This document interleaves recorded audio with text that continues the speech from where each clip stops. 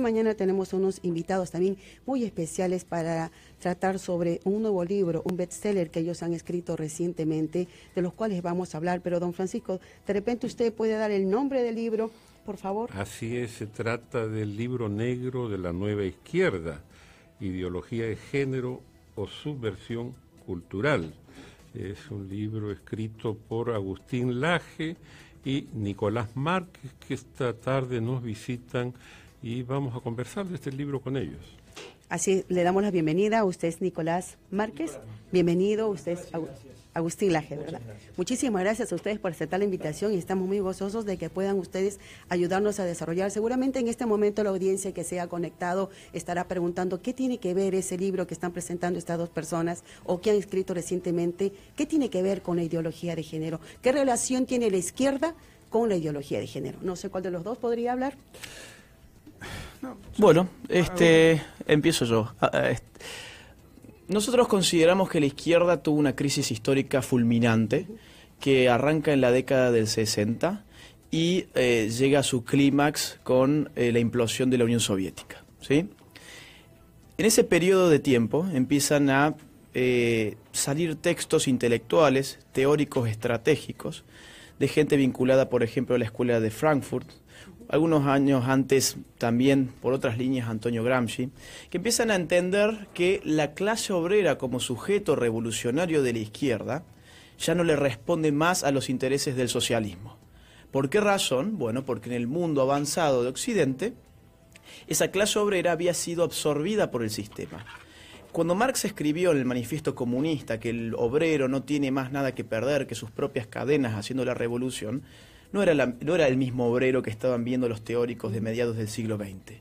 El obrero de mediados del siglo XX era un obrero que ya tenía para perder mucho, tenía para perder su automóvil, su casa, su televisor, su radio, etc. Era un obrero aburguesado como se lo ponía en aquel momento. Entonces, los ideólogos, los teóricos de lo que se llamó la nueva izquierda, empiezan a entender esto como un problema y dicen, bueno, se acabó la lucha de clases, ahora tenemos que arrancar la lucha cultural. Ya no se trata de una revolución armada tipo Che Guevara, este tipo guerra de guerrillas, golpes de estados, golpes de palacios, sino de una revolución gradual y pasiva, que no se note, pero que tenga la misma forma, la misma fisonomía que la lucha de clases. La lucha de géneros, que está en el corazón de la ideología de género, es la lucha de clases del siglo pasado. Es sumamente importante lo que nos cuenta, pero permítame hacer una breve introducción. En este momento vamos a lanzar un pequeño informe para que también nuestra audiencia sepa quiénes son ustedes y de qué se trata todo esto. Adelante, por favor.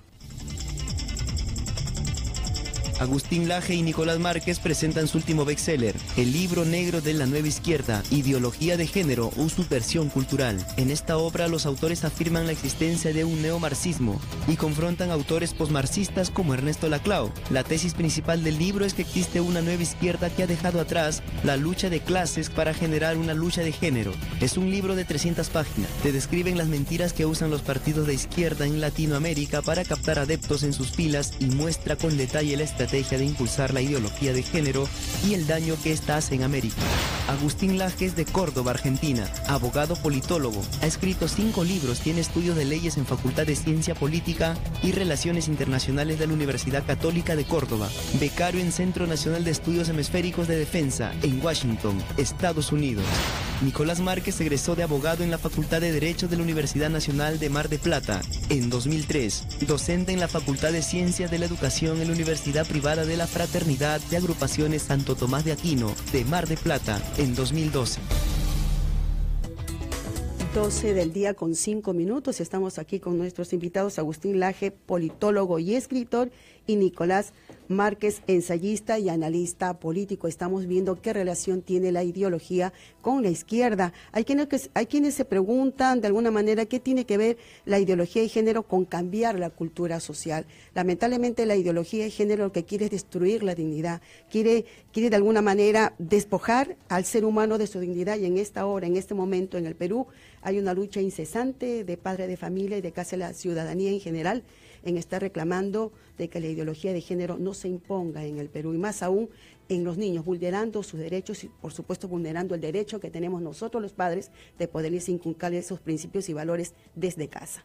Creo que usted estaba eh, pendiente? ¿Va a Sí, a redondear la ver, idea? yo, yo quiero hacer una aclaración, ¿no? Esto tiene que ver con la izquierda en ese sentido, en que esto nace como una estrategia de la izquierda, y de hecho si nosotros vemos lo que son las movilizaciones de los ideólogos del género, lo que vamos a ver son todos símbolos de izquierda.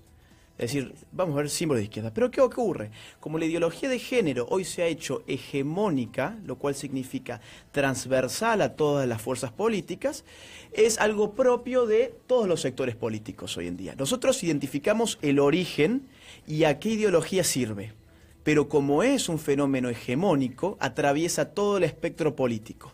Eso tiene que quedar claro, porque esta tesis sería fácilmente refutable si me dicen, pero oigan, este. Acá Claro. tenemos a un, claro, tenemos Kenji, eh, que, Kenji que eh, es pro ideología de género y sin embargo no es una persona de izquierda. Claro. Bueno, eso es porque esto es una ideología que ya ha eh, inyectadose, que ya se ha inyectado en este, todos los frentes políticos.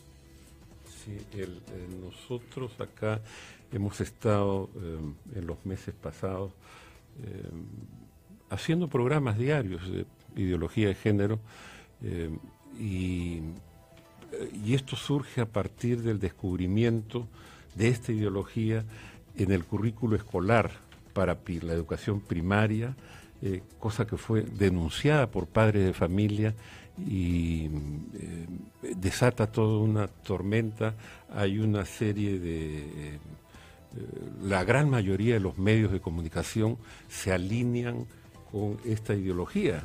Y hay columnistas y periodistas que asumen el, el tema este de la ideología de género. Sin embargo, también hay una resistencia grande eh, y esto se grafica en una gran manifestación que hubo en la Plaza San Martín con más de un millón de personas, tal vez, no sé, eh, pero están las pruebas, están los videos, las, Sí. las fotografías y, y de gente que eh, rechaza la ideología de género.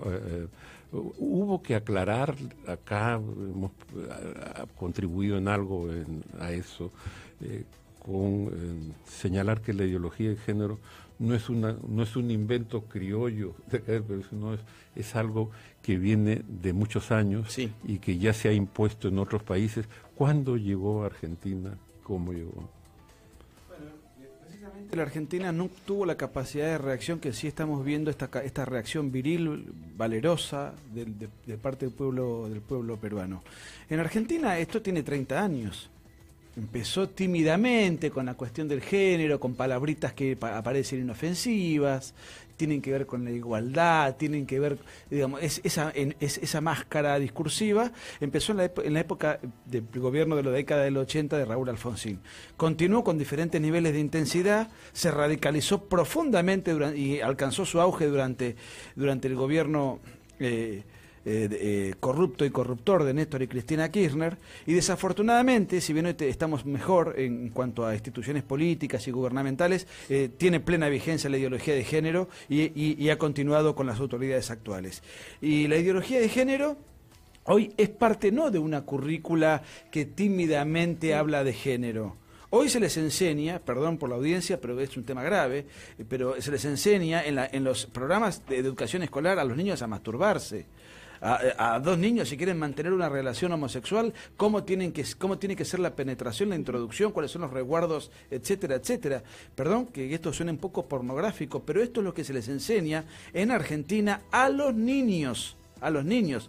¿Cómo empezó? 30 años atrás con una currícula que incluía la palabrita género de manera tímida, pero esto que hoy parece eh, inofensivo en Perú, por eso me encanta la reacción vigorosa y atenta que están teniendo ustedes, esto tra- en el tiempo progresivamente deriva en un montón de desvíos inaceptables. Y eso que Argentina no es el país más agravado. Ya hay países de, de Europa que Agustín maneja mucho mejor que yo, Alemania, el mapa, por el mapa europeo, donde se han eh, legalizado aberraciones que él nos puede Alemania, por, eh, por ejemplo, en los eh, kindergarten, que no sé cómo le llaman aquí, los jardines de infantes, Jardín. los, eh, los maestros eh, juegan con los niños a que los niños se vistan de niña, que las niñas se vistan de niños, así ellos libremente, supuestamente, eh, pueden identificarse con el género que les guste, ¿no? haciendo de esta manera que ese hecho sea natural y aceptable para ellos. Exactamente. Y también habría que resaltar que aquí en Perú son siete años que llevamos ideología de género, si bien es cierto que no se ha dado cuenta recién aquí en la, en la inclusión en la currícula escolar. Cuando se ha visto que se ha inmerso allí en la currícula escolar, es que el Perú ha reaccionado. Si bien es cierto, eh, hemos tenido, pero así, como cuentagotas. Es cuentagotas. pero- Exactamente, y se ha venido como a derramar el vaso de agua con la inclusión de los términos que confunden a los niños, que puedan hacerlo en los adolescentes o de repente a los 18 años, al fin y al cabo es decisión de la persona si acepta o no acepta hacerlo, pero en cuanto a los niños, los están confundiendo. Lo que pasa es que una revolución eh, cultural implica cambiar la manera de ver el mundo. Esa es. Totalmente. Eso es. Ah, No es fácil hacer que una persona adulta cambie la forma en que ve el mundo. Ya a partir de cierta edad uno se ha formateado de cierta manera, con ciertos valores, con ciertas pautas culturales y es muy es muy duro poder hacer esa revolución en la mente de una persona adulta. Podrá haber, es por eso que van a podrá ser haber un cambio, pero no una revolución de paradigma. Puede Claro, haber una cierta reforma, es un reformismo cultural, pero la revolución cultural está en los niños. Y por eso ya teníamos ideólogos del género. Fíjense qué viejo que es esto, ¿eh? pues esto no es nuevo. Los ideólogos del género ya estaban pensando en la década del 70 cuestiones como la siguiente. Shulamit Firestone es una feminista académica muy leída hoy en todo el mundo, que en la década del 70 sacó un libro que se llamó El género en disputa. Eh, perdón, la eh, dialéctica del sexo. La dialéctica del sexo.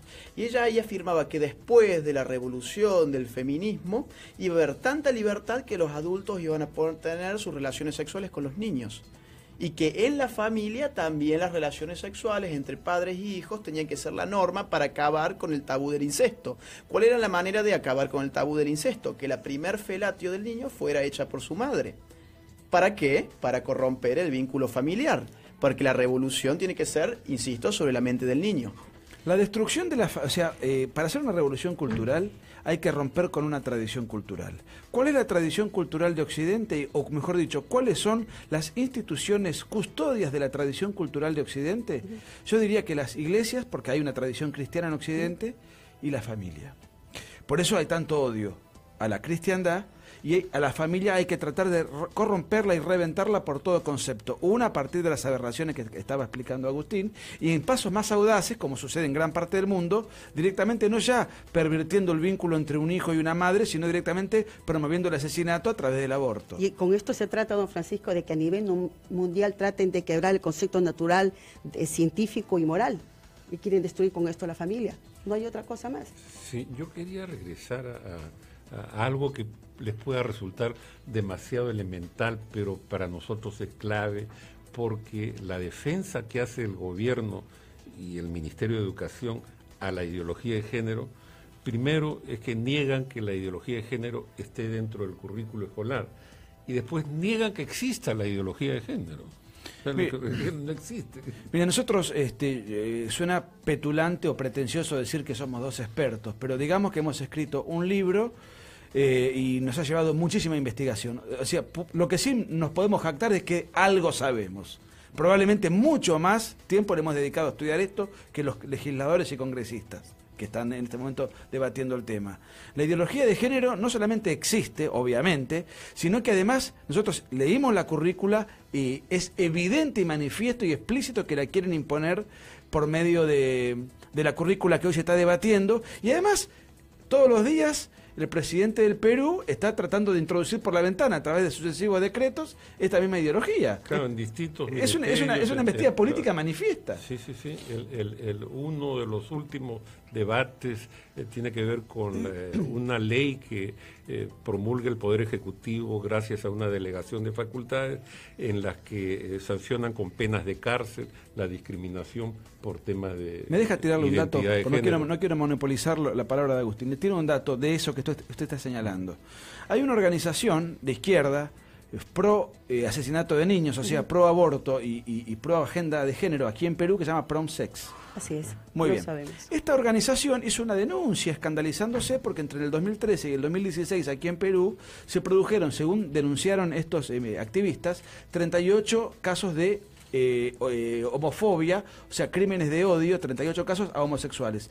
Fíjense cómo manipulan las estadísticas. De estos 38 homosexuales que fueron asesinados, 20 de ellos fueron asesinados por su pareja del mismo sexo. O sea, los victimarios, los asesinos, fueron otros homosexuales. Qué rara que es la homofobia. Y así hablan ellos de Parece que es odio. entre ellos el odio. Los otros 18 casos fueron 18 episodios azarosos, no por un crimen de, de odio hacia una persona que tiene una orientación sexual, sino que fue en el contexto de un robo violento donde murió la víctima. No tiene nada que ver la Pero absolutamente. Y además, en todo caso, de existir una homofobia confirmada, la mayoría de los casos se da entre los propios homosexuales, entre sí.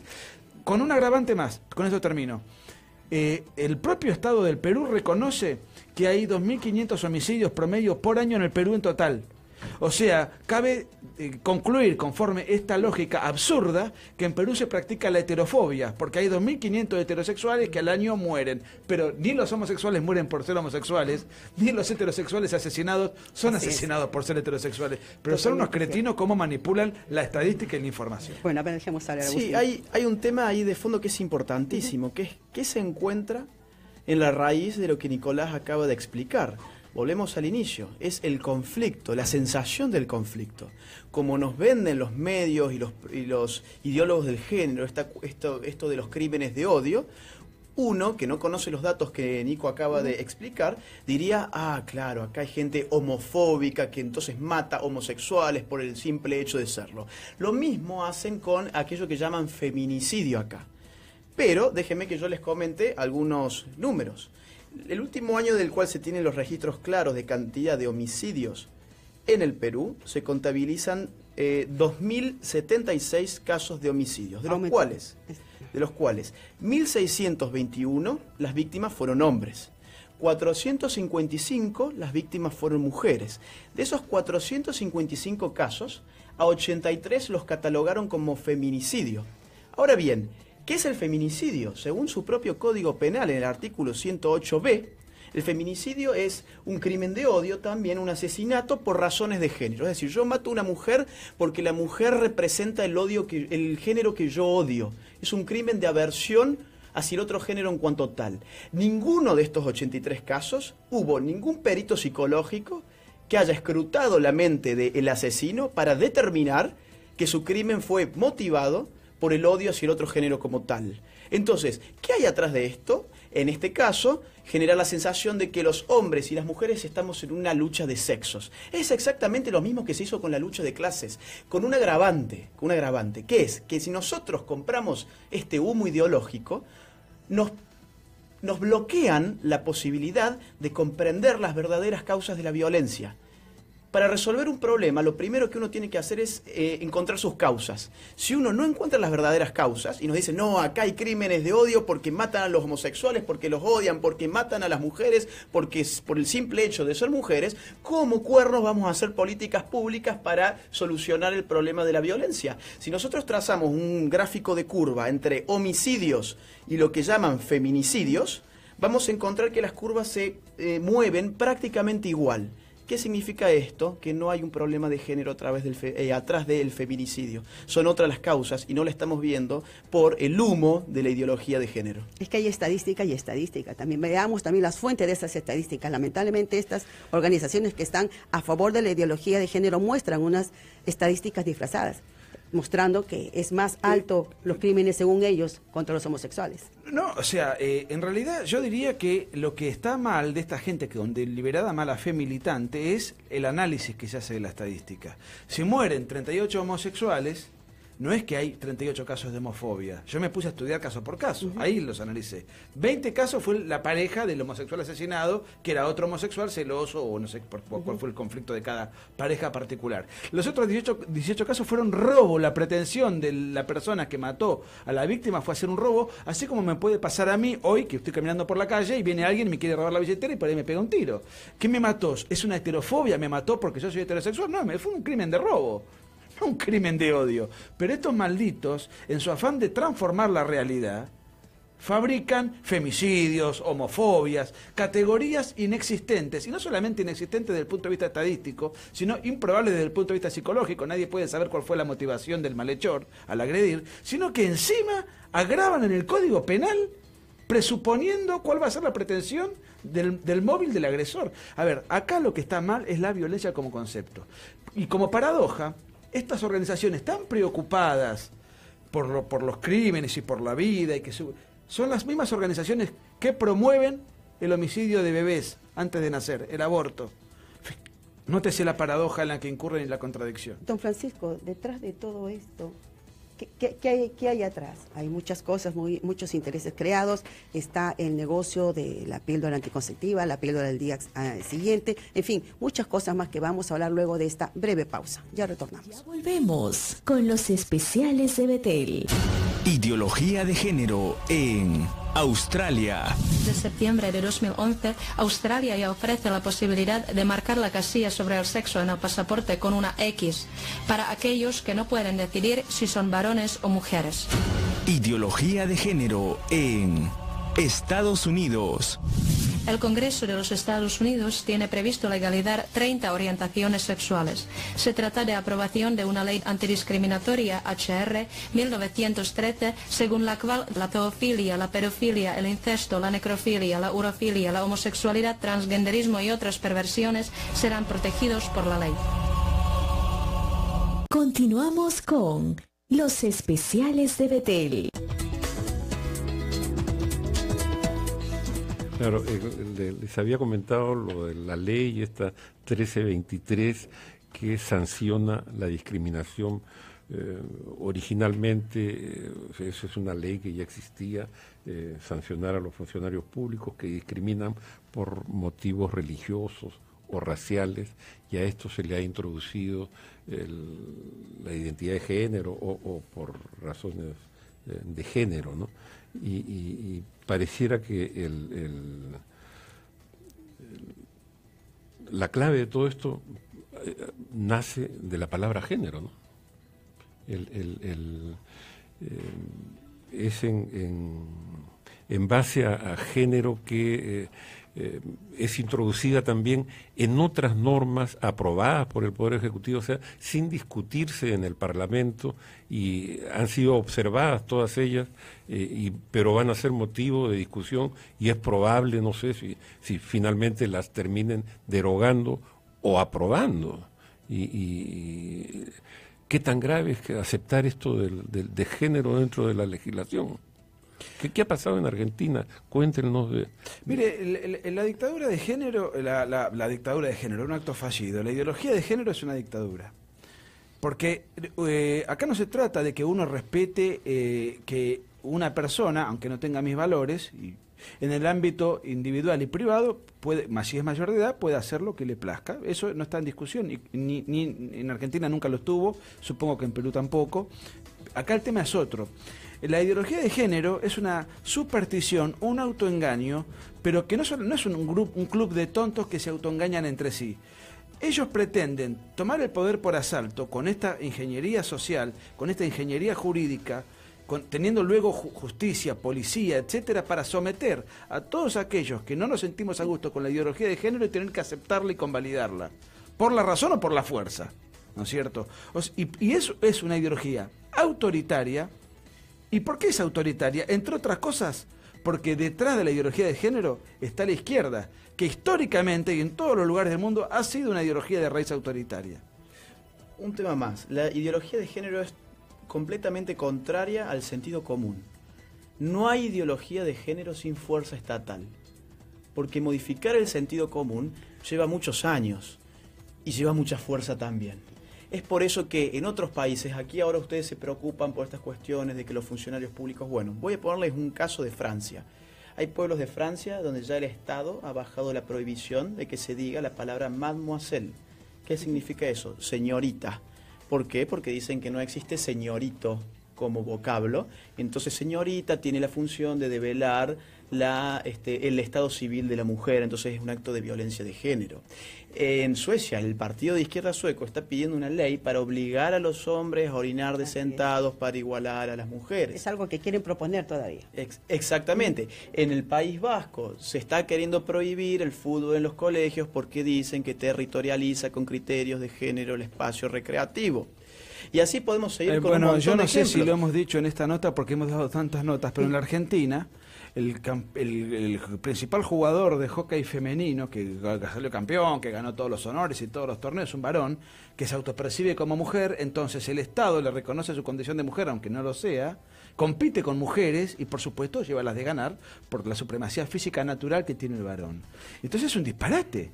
Y todos nosotros, y ahora, si un juez se anima a decir, no señor, este es un varón, no puede competir aquí, ese juez es destituido, tachado de homofóbico, de cualquier tipo de disparates, es destituido de su cargo y posiblemente encarcelado, etcétera. Eh, Y esto un poco responde a la pregunta que tú me hacías. Es una dictadura de género.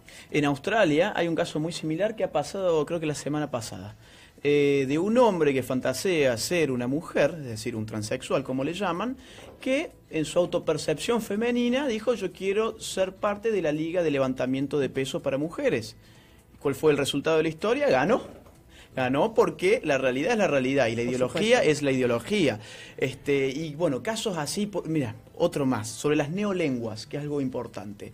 No hay nada más espontáneo que el lenguaje. ¿Quién creó el lenguaje humano? ¿Quién creó el castellano? ¿Quién es el padre del habla española? Nadie. Es un acto de libertad, es un acto espontáneo, evolutivo. Bien, ¿qué tiene que hacer el Estado? En el lenguaje nada, dejar que las personas simplemente hablen y se manifiesten. ¿Qué ha hecho el Estado de Gran Bretaña hace dos semanas? Bueno, hubo un caso de una mujer que se autopercibe como hombre, pero que llegó a una clínica embarazada. Y los médicos le dijeron, señora, felicitaciones, usted va a ser madre. Y ella dijo, ¿cómo señora? ¿Cómo madre? Si yo soy un hombre. Si yo me autopercibo como hombre, pero otra vez, la realidad es la realidad y la Por ideología es la ideología. Pero ¿cuál es el fin de esta historia? Porque nada, nada tenemos con Nicolás con la autopercepción de cada quien. Que cada quien se autoperciba como tenga ganas, pero que no le pida al Estado hacernos partícipes de sus Por propias fantasías. sí. Entonces, el final de esta historia fue un escándalo que derivó en un manual de la lengua médica que coacciona a los médicos ingleses en el sentido de que no pueden decir más la palabra mamá, papá, hombre, mujer. Si yo me autopercibo como Superman, y de chico me gustaba jugar y disfrazarme, pero si ese, ese, ese, ese- atraso madurativo, pasando el tiempo, lo sigo sosteniendo, tengo la libertad de hacerlo. Lo- corro algunos riesgos, si me tiro de la, de la azotea del edificio, pues, probablemente no me vaya muy bien porque estoy violentando el orden natural. Pero yo no tengo derecho a pedirle al Estado superpoderes en aras de, la super, de, de- las, de las supercapacidades que yo me atribuyo. Pero esto que parece ridículo no es tan ridículo. En Europa ya hay una saga de personajes que se consideran transespecie y se creen que son felinos. Googleenlo. Sí. Ha salido en los principales diarios de Europa. Y son más de uno y piden pretensiones al Estado en función de los derechos para, no sé, que, que son una, una mezcla rara. Ese, este, ese es un buen tema. El tema de poner al Estado a cumplir los, eh, las fantasías de esta gente. En España, el Estado financia lo que llaman el cambio de sexo. Es decir, los El contribuyentes Estado lo financia, ¿cierto? lo- con sus impuestos tienen que financiar que a, un- que a una persona El sexo irresponsable de otros. Eh, que- Claro, y, el- que le- el- y que aparte que le amputen una parte saludable de su cuerpo. Y que encima le digan cambio de sexo. Eso no es cambiar el sexo. Eso es amputar una parte saludable del cuerpo de uno. Para cambiar el sexo tendría que cambiarnos hasta la carga genética. Aparte que no hay cambio, claro. no hay No, no, cambio, no, que no, quieran no. modificar su apariencia es otra arrancarse los genitales no es cambiarse el sexo. Es que quieren- es la ideo- mutilarse. La ideología de género ha llegado al Perú a través de las Naciones Unidas. Por supuesto, O sea, distintos organismos de las Naciones Unidas eh, condicionan es, la- el financiamiento de ciertos programas, entre ellos educativos, a aceptar esta ideología y a que esté vigente en las normas legales. En Argentina llegó también a través de las Naciones Unidas. Eh, mire, yo no sé exactamente cuál fue el órgano que, que hizo llegar esa ideología. Sí sé positivamente que Naciones Unidas apoyó y sigue apoyando este proceso de la instalación, la expansión y la consolidación de la, de la ideología de género. ¿Quién fue quien la introdujo? Sí le puedo decir bajo qué gobierno. Se introdujo bajo el gobierno socialista de Raúl Alfonsín. ¿Cómo fue que penetró inicialmente? Puede haber una combinación de intereses. Estamos hablando de hace más de 30 años, ¿no? O sea, es un tema que no es un tema nuevo. Por ahí es nuevo el debate aquí. Y afortunadamente con Agustín estamos maravillados con la vigorosa reacción que estamos este, eh, que- presenciando, ¿no? Bueno, pero es una, una pelea muy, Muy ardua. desigual, ¿no? Muy desigual, porque, eh, claro, con todo el, el- el poder que tiene supuesto, el. Estado, eh, eh, hacen un derroche eh, publicitario, o sea, compran los medios con propaganda. Mira, ¿no? con, Entonces, eh, con Nicolás tuvimos que financiar el propio libro. con eso yo te digo todo. No tenemos ninguna estructura de financiamiento, ninguna ONG, ningún Estado, ningún multimillonario. Con Nicolás somos dos personas que vivimos el día y que juntamos nuestras monedas para poder sacar este libro con todo el esfuerzo que nos llevó. Y a la hora de escribirlo nos dimos con que no había ningún libro contra la ideología de género. O si había eran panfletos un poco este, que se quedaban a mitad de camino. Entonces hicimos una investigación inédita que cuando la tuvimos lista dijimos, ¿y ahora qué? Bueno, a poner de nuestro dinero para que el libro pudiera salir y afortunadamente ha sido un, un, éxito internacional. ese es un éxito. Nosotros tuvimos conocimiento de este libro antes que, vengan ustedes y, hay que felicitarlos, ¿no? Porque eh, me imagino que la lucha que tienen ustedes eh, contra esto debe ser más complicada que la que tenemos nosotros, porque allá ya se instaló. Eh, primero que está instalada, segundo que en, Argentina, que es un país que lamentablemente en, materia cultural está totalmente contaminado y, dominado por, por estas corrientes, por estas tendencias culturales ideológicas, son muy pocos los medios de comunicación que nos dan espacio para poder expresar esto, porque nos consideran eh, marginales, gente que nos tratan de cavernícolas del medioevo, de, de, claro, igual acá extremistas. sí, pero hasta del Ku Klux hasta del Ku Klux Bueno, más o menos, somos los dos eh, miembros del Ku Klux Klan argentino. El tema es que acá ustedes son muchos, con Nicolás en Argentina realmente estamos solos. Estamos completamente solos, entonces cuando llegamos acá y nos vemos tanta gente amable que nos apoya, nos deslumbramos. Porque allá estamos dando una lucha eh, dos contra, Argentina. Solo contra el mundo, solo contra el mundo. Casi, casi. Bueno, acá recibimos eh, algún apoyo de gente que también vino de otros países, vino de Colombia, por ejemplo. Colombia, otro país que, claro, que estuvimos dando una, que han tenido, conferencia. También que han tenido su, su, su y, sí, pues hay que saludar este gran esfuerzo, ¿no? México también. México tiene también su, su buena, su buena reacción. Y eso, eh, aparte que estamos a la mitad del camino todavía, porque lo que nos hemos propuesto es que es un reto que, que tenemos toda la sociedad en sí, que estamos en contra de la ideología de género, para asumir la defensa ¿no? del derecho de los niños a su integridad, ¿no? al derecho que ellos tienen y sobre todo de que esta sociedad no esté manchada con todas estas ideas eh, nefastas. Nos vamos a una breve pausa y retornamos con el final del programa. Ya volvemos con los especiales de Betel. Ideología de género en California. En el marco de la igualdad de género en las escuelas de California, a los chicos se les permite usar los baños de las chicas. Una novedad es la introducción de así llamados baños de género neutral para los que aún no han decidido quiénes son en realidad. Ideología de género en Canadá. En febrero de 2011, en la reunión del Parlamento de Canadá, todos los diputados apoyaron la afirmación de que la pedofilia era una orientación sexual normal. Solo un diputado votó en contra. Por lo tanto, el abuso de los niños ya no se califica como un acto criminal. De acuerdo con la ideología de género, los niños ya no pueden llamar a sus padres padre y madre. Se usa el término padre 1 y padre 2 para que los homosexuales no se sientan ofendidos. Continuamos con los especiales de Betel. Ideología de género en Suecia. En el jardín infantil en Suecia, Troje, a las niñas no les permiten a jugar con las muñecas y a los niños con los coches de juguete. ¿Cuál es la razón? Dicen que se trata de juguetes discriminatorias que en relación con el concepto de género son inaceptables. Ideología de género en Lituania. Otro ejemplo, en las escuelas en Lituania a los pequeños alumnos les leían las historias de dos príncipes enamorados. El resultado, los niños durante los recreos jugaban a los homosexuales.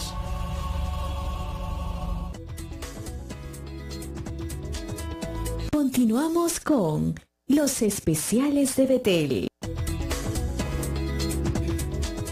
Bueno, cuando hace un tiempo estuvimos en los meses de enero, febrero, tocando el tema de la ideología de género, no conocíamos todavía de este libro, pero hubo columnistas que se atrevieron a decir que la ideología de género era un invento de algunos fanáticos religiosos, que eh, un invento criollo de acá de los peruanos, pero eh, nosotros sabíamos que esto es algo que ya viene ocurriendo en otras latitudes. Eh, em, el, Papa ha dicho que se trata de una colonización ideológica. Eh, ¿Opinas igual? Eh, absolutamente. En esta, en, este, en esta expresión de- del Papa Francisco coincido. Totalmente, absolutamente. Absolutamente Es una- sí. Es una eh, colonización de la mente, ¿no? ya no de un espacio territorial, no, es una Exacto. colonización de la mente, y es lo que hablábamos hace un rato. Por eso el acento está puesto en los niños, en la destrucción de la familia. Es el totalitarismo, que la familia siempre ha sido un resguardo entre los límites que dividen a la sociedad civil de la política. Ese resguardo ha sido fundamental para evitar el totalitarismo. Es por eso que Marx y Engels y Lenin y los totalitaristas y los, y los grandes teóricos de la izquierda hablaron muchas veces de la necesidad de destruir a la familia burguesa, a la familia como tal, porque encontraron que iba a ser un freno para la revolución del Estado total.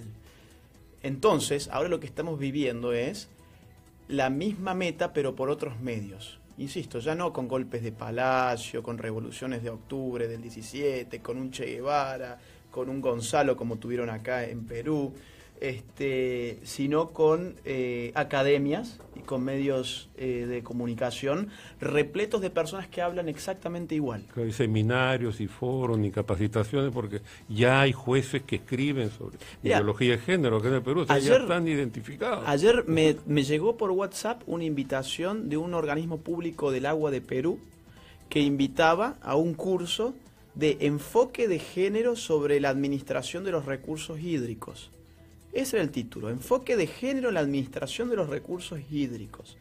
Algo que no se entiende, o sea, se están porque- metiendo en todos los Claro, campos, el- incluso en los, en los campos ingenieros, de Claro. cuestiones Es que técnicas. tienen que ir el- disertando en cada uno para que todo sea... A eso, eh, eso es lo que yo digo cuando digo que esto es algo hegemónico, porque atraviesa todos Sí, los campos no, sociales. y- y el- la Declaración Universal de los Derechos Humanos, en su artículo 26, inciso 3, dice que los padres de familia tienen eh, derecho preferente a escoger el tipo de educación que quieren para sus hijos. Máxime una Pero- educación, como es la educación Claro, sexual. Y, y cuando sale un millón de personas y le dice al gobierno, no quiero ese currículo, pero al gobierno no le interesa, son sordos. Mire, eh, había un pensador francés que a mí me gusta citar para diferentes asuntos que eh, se llamaba Morras, Maurras, se escribe, Mau- Morras.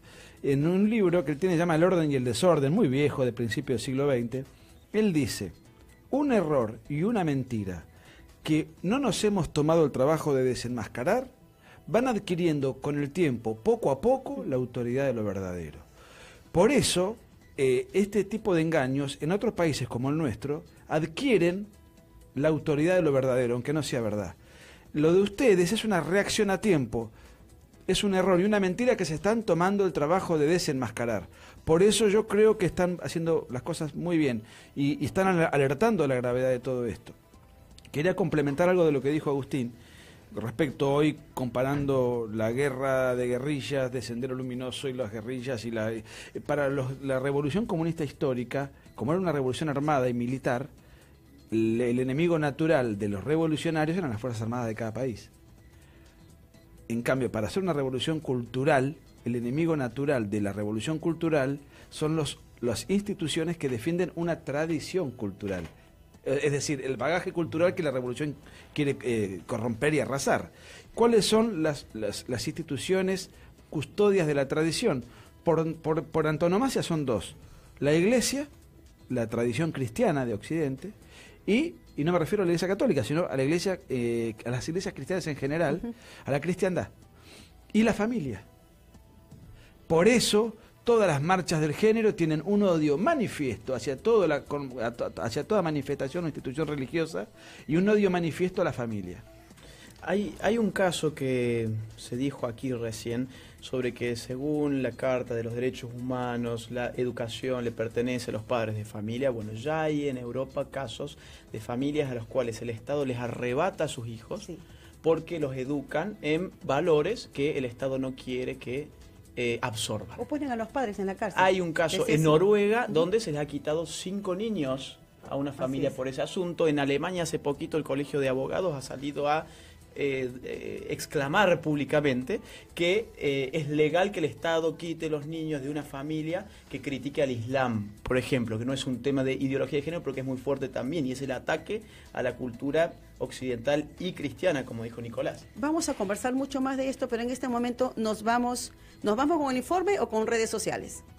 Nos vamos primeramente a un informe y luego nos vamos con redes sociales. Adelante, por favor. Adiós a las señoritas francesas. En Francia han prohibido usar el tratamiento mademoiselle, señorita, porque grupos feministas lo consideran denigrante y machista. Las palabras francesas mademoiselle, señorita o mademoiselles, señoritas, están ahora prohibidas en Francia. Es normal que cada país tenga sus normas, muchas veces no escritas, sobre el uso de tratamientos sociales.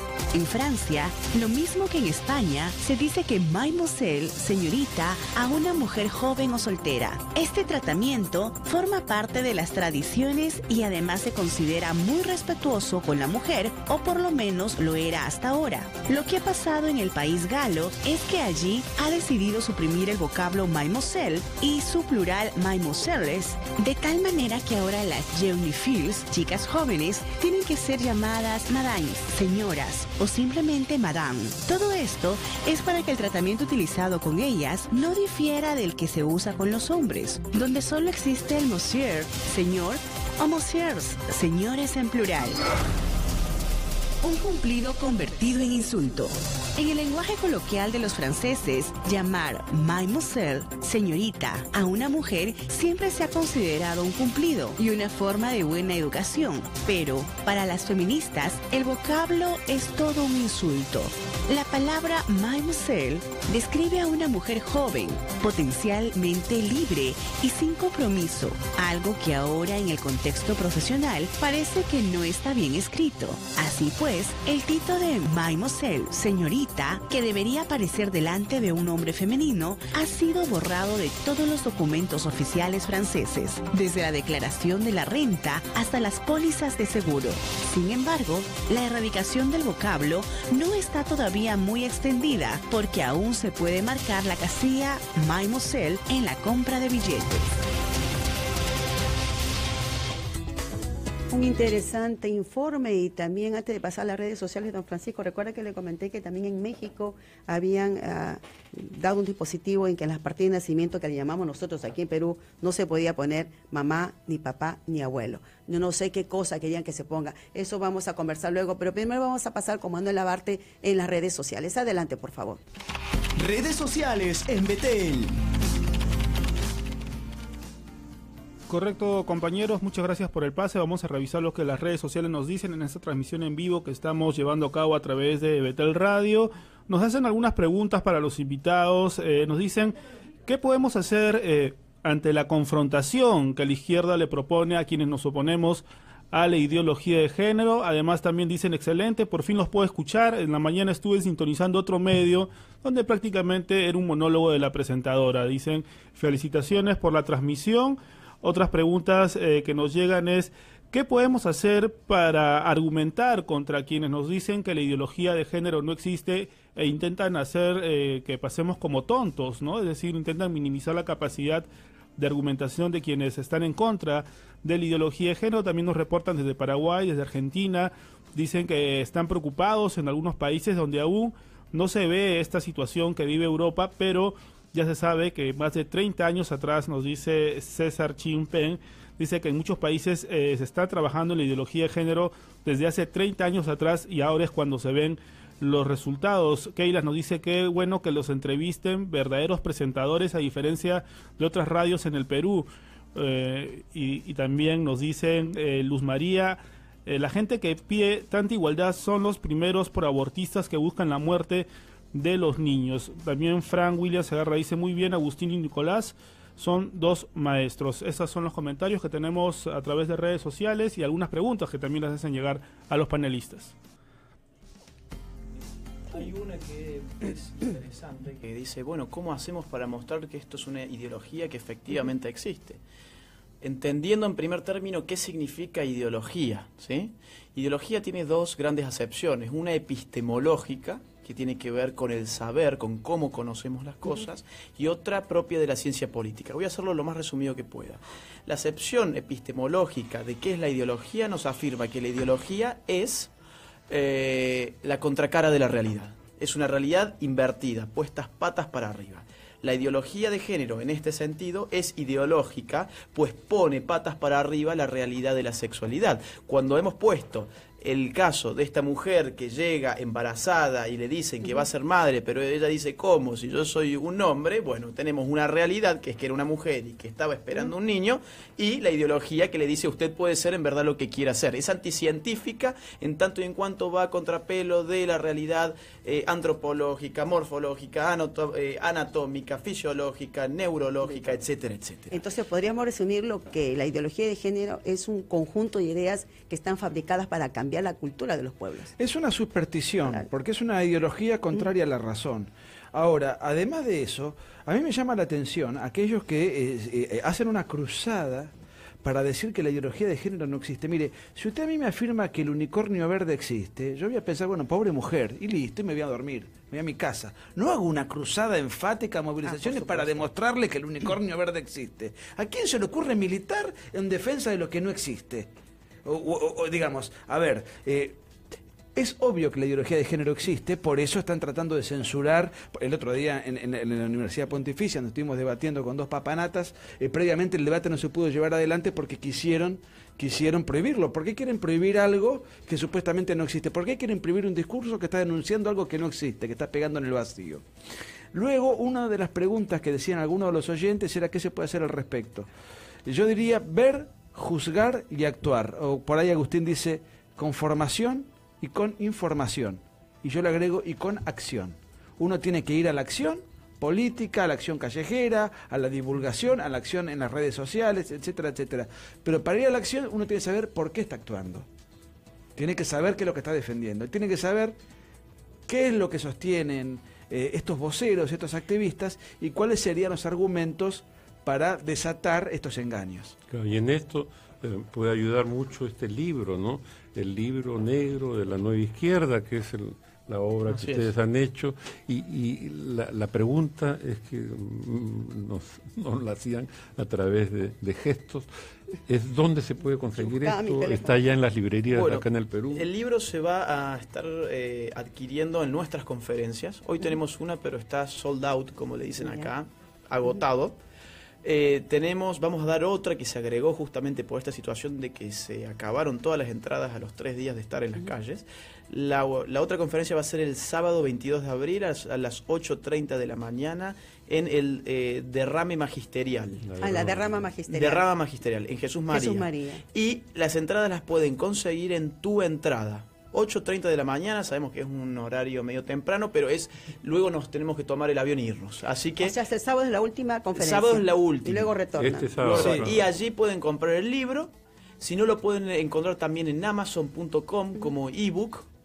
Eh, y tengo entendido que se van a a empezar a imprimir estos libros aquí en Perú de aquel futuro. Ah, bueno, ustedes van a hacer las coordinaciones necesarias para que se pueda adquirir directamente de acá, porque es si ustedes no lo venden en estas conferencias o se les acaba, como ustedes Sí. han manifestado, se va a adquirir a través de Amazon. Ya hace tiempo que está en Amazon, es bestseller hace un año. Hace un año en me año. refiero que en todo caso sigue con Amazon, ¿no? Por supuesto. Sí, sí, sigue con Amazon, pero aparte eh, se va a empezar a imprimir aquí en Perú, así que en un futuro próximo lo van a poder ver Muy por cualquier cercano. librería.